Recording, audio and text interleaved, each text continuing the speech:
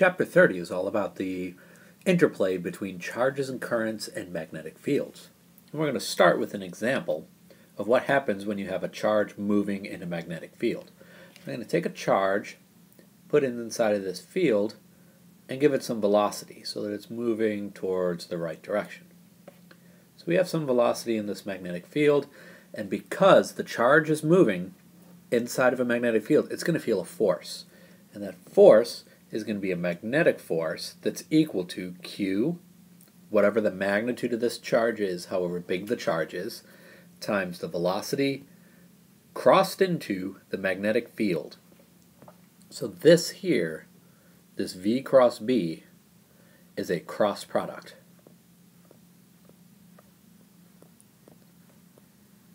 So it gives us a magnitude and it gives us a direction according to the right-hand rule. And we can apply the right-hand rule if we put our fingers in the direction of the velocity and we curl them in the direction of the magnetic field, we find the direction of our force. And we'll go over this in class where I can show you more, more easily. But the direction of the force from the right-hand rule is going to be up. So this charge feels an upward force. That's going to push this guy in the upward direction. So maybe sometime later he's been pushed up by this force and he's moving now upwards as a result of responding to the upward force. Well, now we do the right hand rule and we calculate what direction the magnetic force is going, and we find, according to the right hand rule, our force is going to the left. So that's going to make our particle move towards the left, and we're going to look at it a little bit uh, different position. So we get arced around by that magnetic force. We do the right hand rule. The right hand rule shows us our force is acting down now. And let's just finish this out. The force is going to pull our particle down, and we're going to be over here and have a magnetic force that's acting towards the right.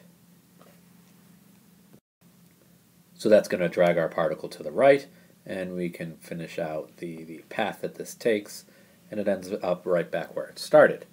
So this whole diagram, all these blue arrows that you see, all these forces, we get these directions from the right-hand rule in applying this equation. The magnetic force is the charge times the velocity crossed into B.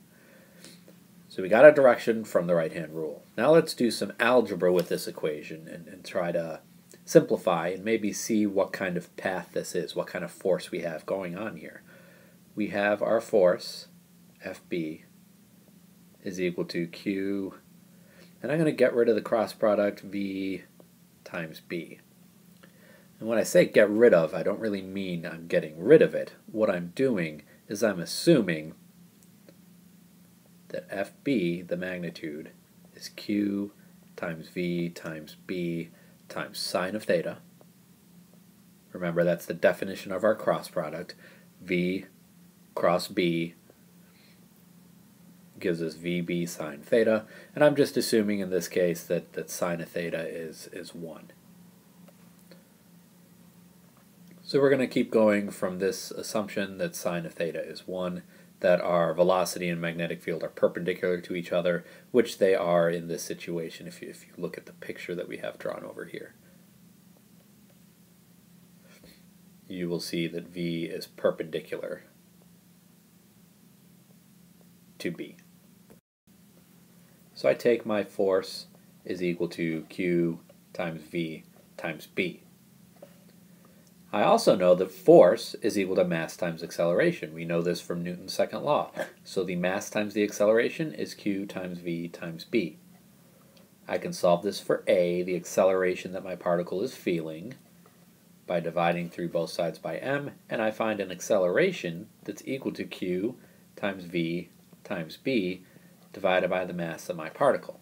So this is the acceleration that I get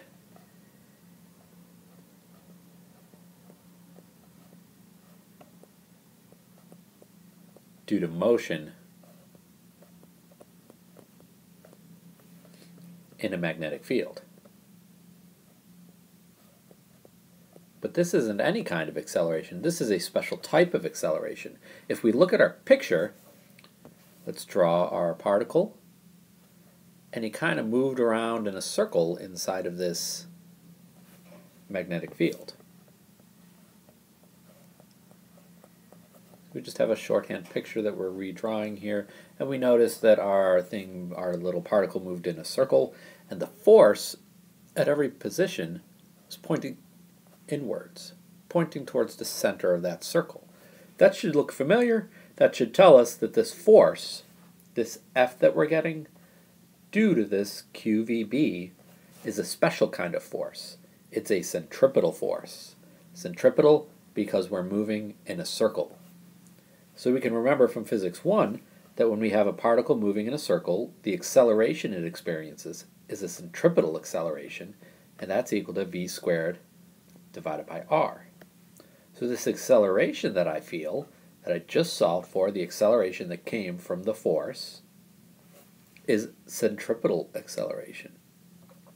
So I'm going to substitute that in. And I'm going to find that v squared divided by r is equal to q times v times b divided by m. And what I'm going to do now is I'm just going to solve this for, for r. So I can multiply my r onto the other side to get it into the numerator. So my r's cancel on the left-hand side, and I find that v squared is equal to q times v times b divided by m times r. I want to get my r by itself, so I'm going to multiply both sides by m over qvb. This is uh, basic algebra. We should be very used to this by now. So if you're having problems with that, come let me know and we can we can work some problems. We can work through it. My m times qvb cancels on my right hand side and I will find an equation for my radius that's equal to m times v squared over q times v times b and 1v cancels with the b v in the denominator and my final equation shows me that the radius of this path that I get is m times v divided by q times b. The radius of the circle I can make from a charged particle moving in a magnetic field depends on my mass, my velocity, my charge, and my magnetic field. So this ability to take a charged particle and make it move in a circle, to make it move so that its radius, r, is equal to the particle's mass times velocity divided by q times b, is used a whole lot in the field of physics in something called a particle accelerator. And it turns out what we needed to do uh, in this giant project, the biggest experiment ever done by mankind, was build something called the Large Hadron Collider. And in this in this little device, actually this very big device, we take protons and we smash them together.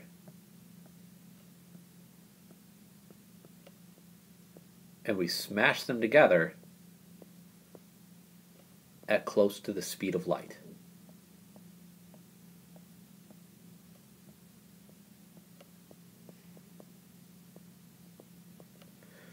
And if we look at this basic equation we have for the radius of these particles, how big the circle that we want our particle to be traveling in, we can see that we need a pretty big radius if we're going to send protons around and have them going at the speed of light. My radius depends on my mass, my velocity, my charge, and my magnetic field. If I do a little bit of algebra and shuffle this equation around to solve for the velocity. So I solve for the velocity that this particle has moving in a circle, and I find RQB divided by m. If I want a very, very big velocity, I need to start with smaller particles. Proton is very, very small, has a small mass. But I also need to have a really big magnetic field and a really big radius. The purpose of this why do we need to smash protons together at the speed of light? One of the big purposes of this was to find something called the Higgs boson.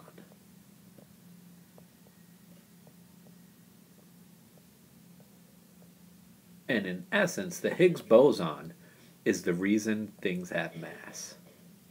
So to understand why mass exists, we have to find this Higgs boson.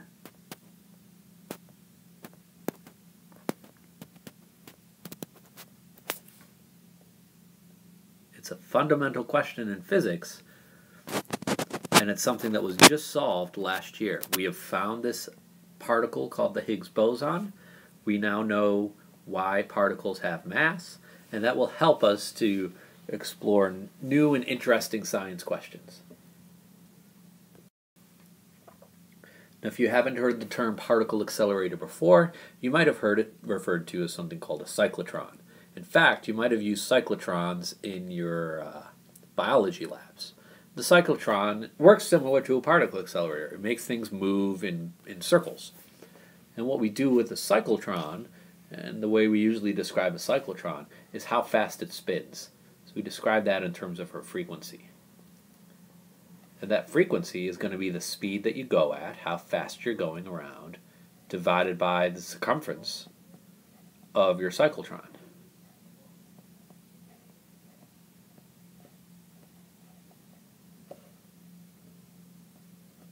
So the cyclotron frequency is velocity divided by circumference, which is 2 pi times r. If I have a particle accelerator, so my radius is determined by a magnetic field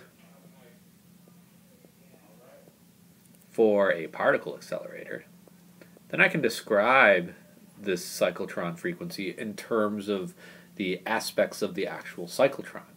What does that mean? That means that the frequency that I have is equal to the velocity over 2 times pi times the radius of my path, and the radius of my path we just found is m times v divided by q times b.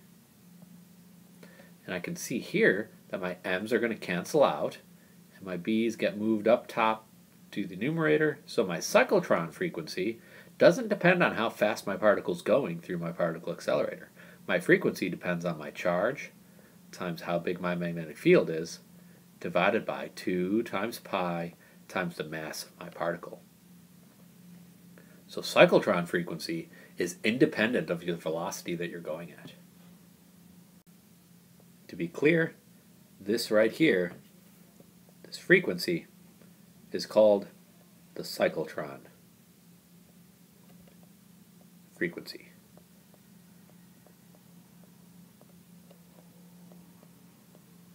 It's how fast your cyclotron is actually going around in a circle. So if we can get force on a moving charge, we can use a similar concept to understand force on a wire.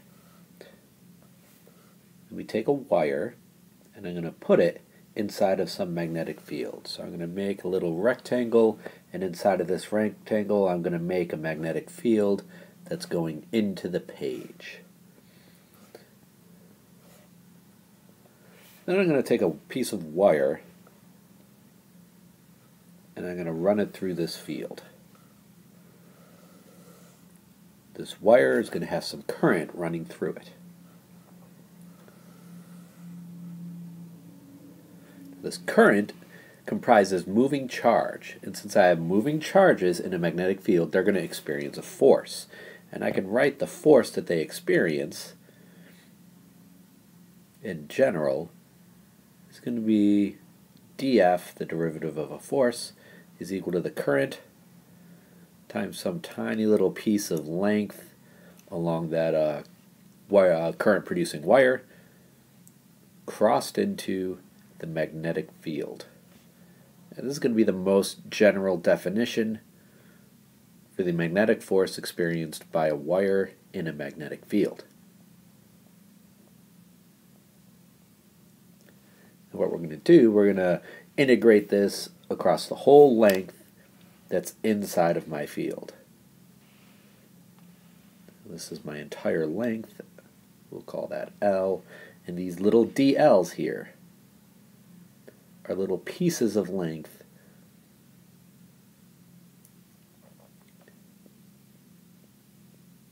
that add up to a portion uh, that, that are a portion of the wire that add up to the total length L. So when I integrate across every single little dl that I can draw, I end up with my total length dl. Now I can simplify this a little bit and write it a little bit less generally. I can write it as the force F is going to be equal to I times the length of my wire crossed into the magnetic field. Though here, it's a very, very specific L. This length L, and you can see how I've drawn that length L, is only the length of the wire segment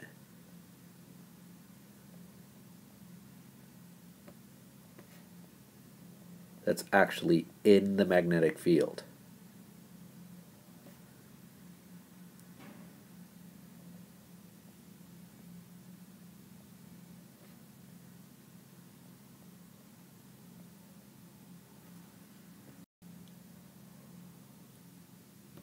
we don't really care about the portions of the wire that are outside of the field. The only portions that experience this force are going to be the parts that are inside of the region where the magnetic field exists. So we have our two equations for the magnetic force of a wire inside of a magnetic field. Another useful thing that we can do with wires and magnetic fields is generate electricity. This is actually how most of the electricity in the world is uh, currently created. And what we do is we take a wire loop and we put it in a magnetic field. It's going to tend to rotate due to the magnetic forces that it feels. So the way this is going to work, we're going to draw a magnetic field. You see this in white. I've already drawn it. And we're going to take a wire loop and we're going to put it inside of this magnetic field. Here's my wire loop, and I'm going to generate a current in there that's going to flow around in basically the counterclockwise direction. So I have my current flowing around.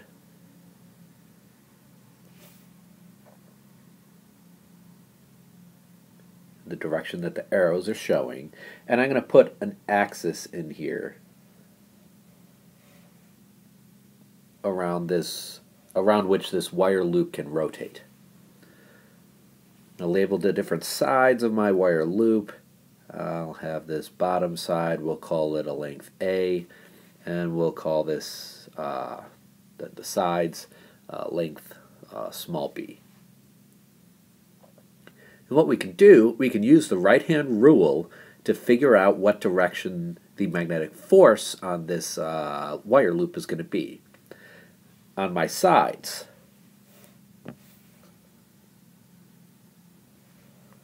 The magnetic force is going to be equal to zero.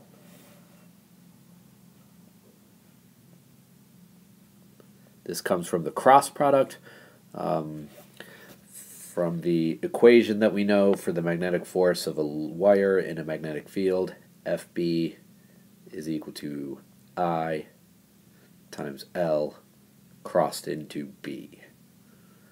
Since the current and the magnetic field are either parallel, uh, as we see on the right-hand side, or anti-parallel, as we see on the left-hand side, their cross product goes to zero, so we have no magnetic force. Alternatively, at the top and the bottom, we can use the right-hand rule to figure out that the magnetic force on the top part of this loop is going to be going into the page. And the magnetic force on the bottom of the loop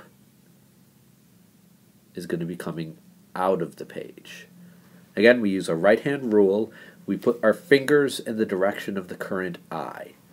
So my fingers go, for the bottom loop, my fingers go to the right and then I curl my fingers in the direction of the magnetic field. My magnetic field is going up. And when I do this, I end up having my thumb pointing in the direction of my magnetic force, This is the right hand rule again, and my thumb is pointing out of the board. So I know my magnetic force is coming out of the board. And we'll see an example of this in class if you request to see that. So we know the direction that the forces are acting on this wire loop. We know this from the general equation for force on a wire in a magnetic field. I can calculate what this force is in terms of the variables that I have. The force is going to be equal to the current that's going around this loop times the length of the wire that's in the field. So the length of the wire that's actually experiencing this force for this bottom segment and this top segment are both going to be equal to this length A. So I have A times the magnetic field B from the definition of force of a current in a magnetic field. So the force I am experiencing is I times A times B. But what I really want to get I want to figure out what the torque is. Now the torque is a rotational force. So we need to go back to physics 1 to kind of draw some parallels and figure out what this means. Figure out how to get this force. How to get this force turned into a torque. So we've recreated our little picture up here in the upper left hand corner. And we'll keep this in mind as we recall that torque is equal to r times f times sine of theta, where r is the distance I am from my rotation axis. Distance of your force, whatever's making you rotate, from your rotation axis from whatever point you're rotating around.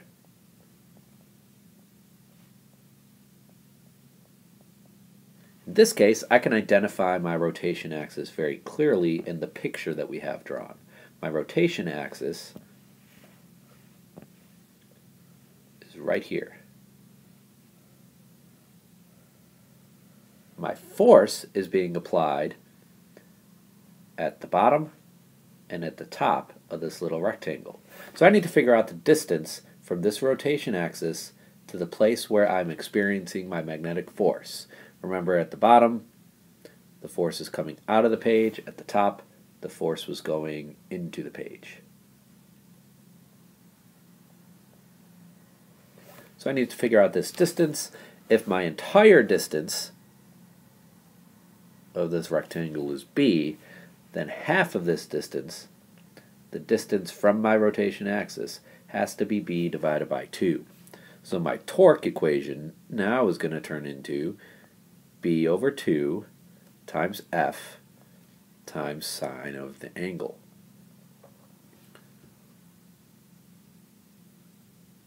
And now I already know what my force is. We just figured that out on the last um, little slide.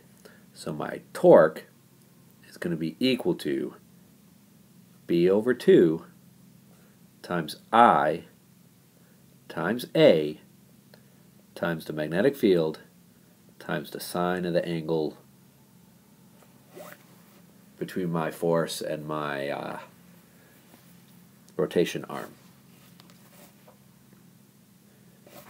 This is the general torque that my bottom line segment is experiencing.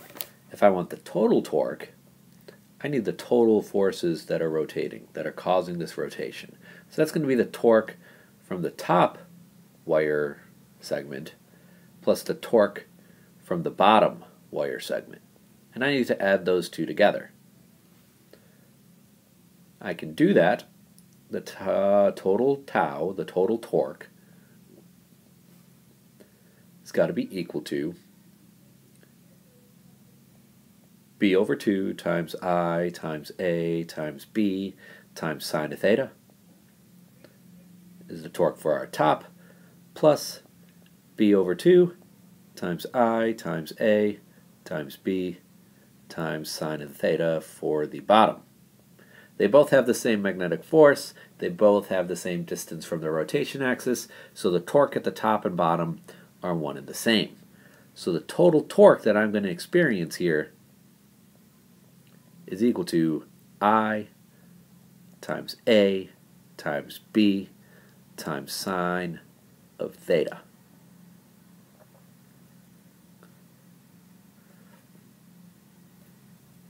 Where I is the current in my wire loop.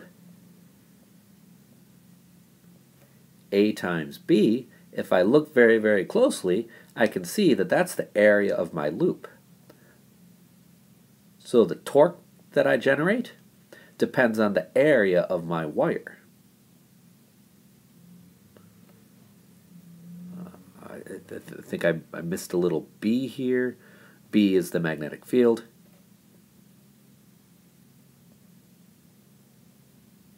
So to make sure that you get that corrected in your notes, get that in there. And then the angle is the angle between I, the current, and my magnetic field. In many cases, this angle is probably usually going to be 90 degrees. Not always, but usually. So this is our torque of a wire loop in a magnetic field. And this first term, this current times A times B, is so important and used so often.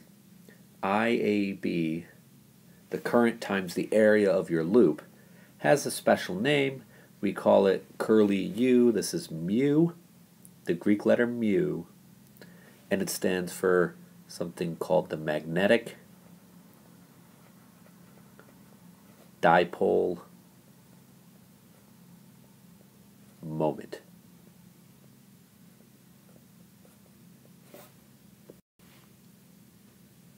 So you might see this torque equation, tau, written as equal to mu times b times sine of theta. Or, for very shorthand, tau is equal to mu cross b. These are all equivalent to each other. These are all the same thing. They all give you the same final answer.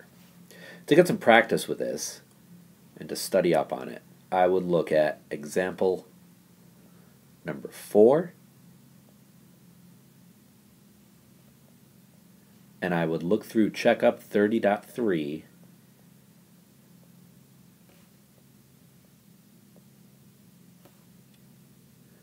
numbers 1, 2, 4, 5, and 6.